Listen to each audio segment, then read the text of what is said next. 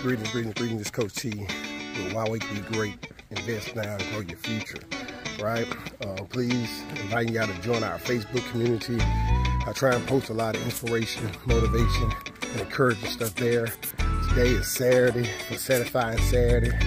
Look, I'm out here doing my one mile, which usually be two miles a day, or longer.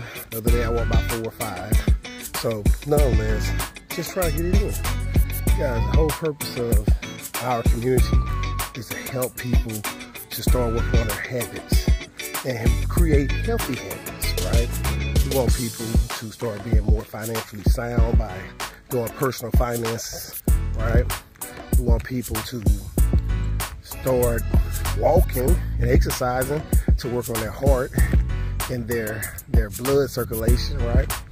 We also want to help people with stress related stuff mental health. So, you know, walking out here is a common sensation. It's peaceful. Everybody in the house. A few people outside coming out there just to wipe the car, pick up the mail, go back in the house.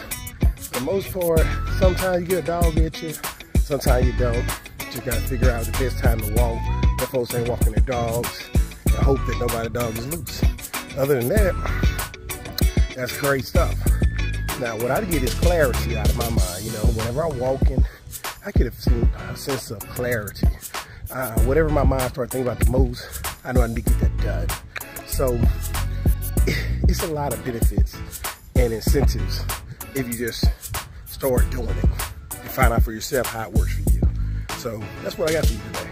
Start doing it and find out what works for you. And keep doing it if it works. If you don't, do something extra. Coach T, why would be great? Like, share, subscribe, join our Facebook community. Why would be great goal overachiever? And definitely follow this page on this YouTube channel. Take care.